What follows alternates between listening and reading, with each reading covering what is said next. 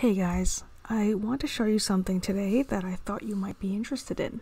Um, I am here on the island. Originally, I was going to go play with uh, Captain Forest, and I wanted to have her explore some things um, in uh, this this neighborhood.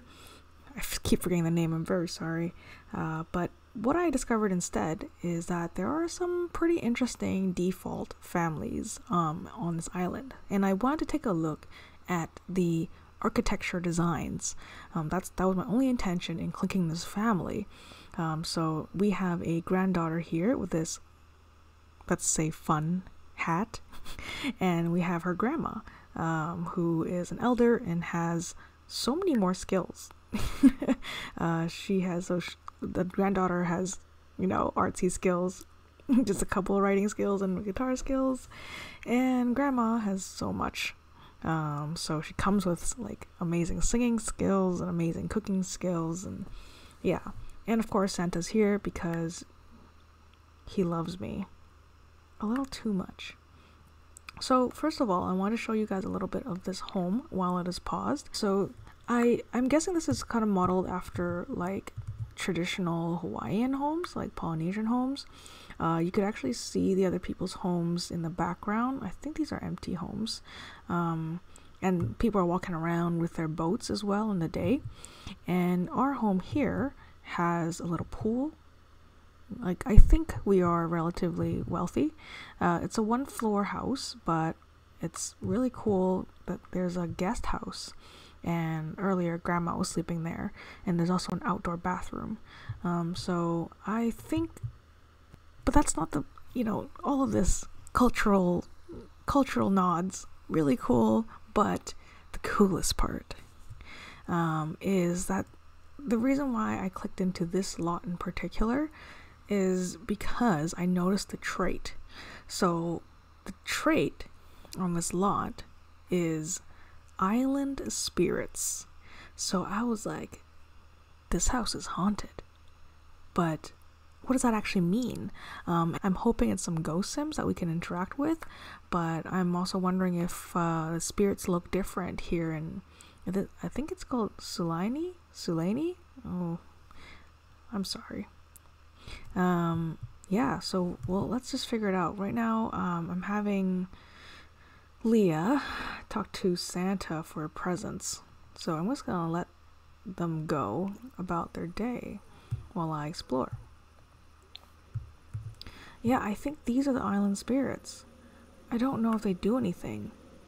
Like they're in the bedroom over here too. Just wisps. Commune with spirits. Okay, that's pretty cool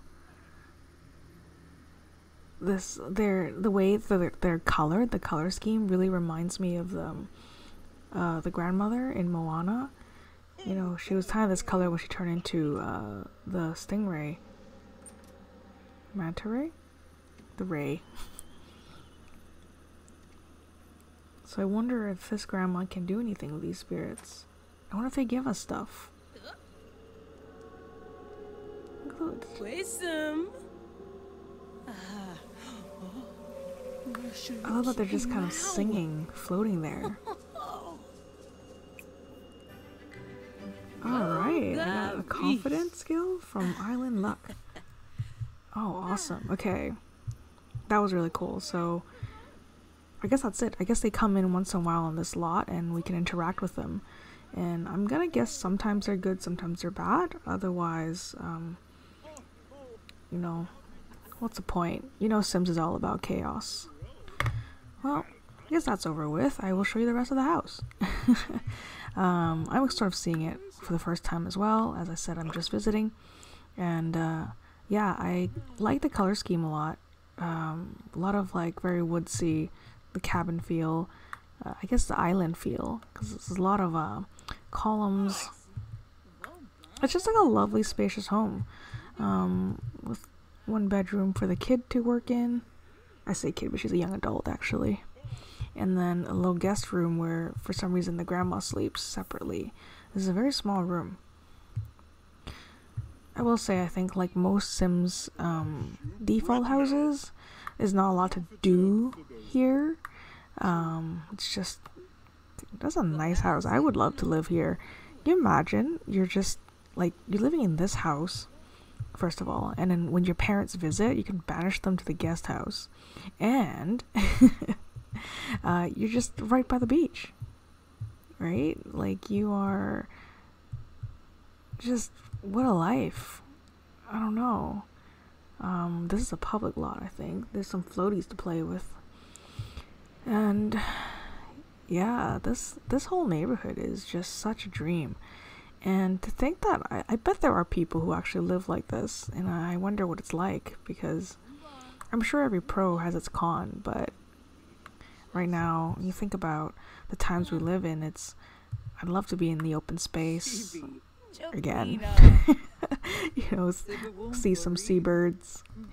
But anyway, I guess um, before I launch into uh, a monologue about that, uh, let you guys go. Oh, wait.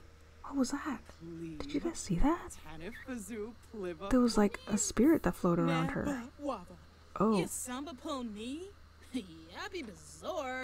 Oh no. Is that one of her traits? Oh, she's erratic. I wonder if she is modeled after um, the grandma in Moana.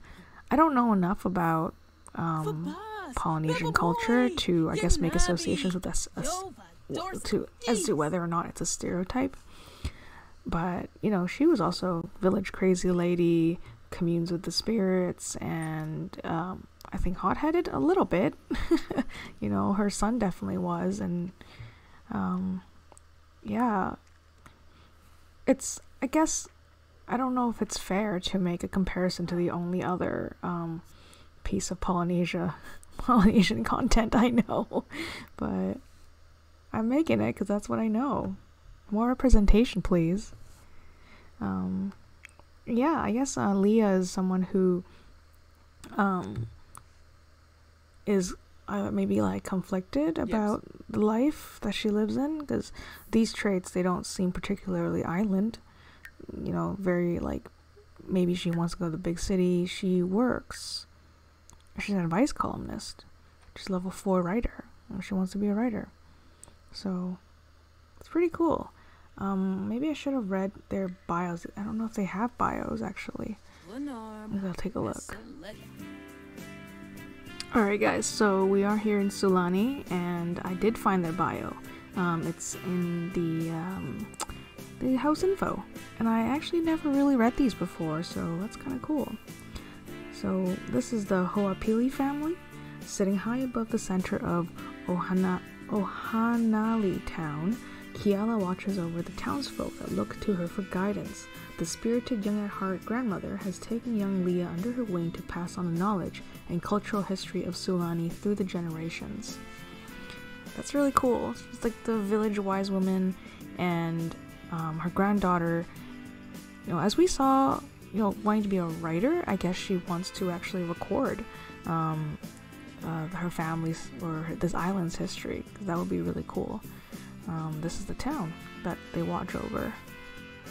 Yeah, I love that little bit of lore. Um, so yeah, I, am wondering if everyone has that now. So this family here, they're the epitome of Sulani. Industrious, uh, welcoming, and tight-knit family, firmly rooted in island tradition to honor the past while supporting the bright future of their extended family community. That's really cool. so I guess you can take these in whichever direction you want to. Uh, you can help this family move into the future, balance with the past. I mean, this is a constant, real struggle, isn't it? So thank you for joining me on this uh, short little tour. Um, that's it. Until next time. Bye bye.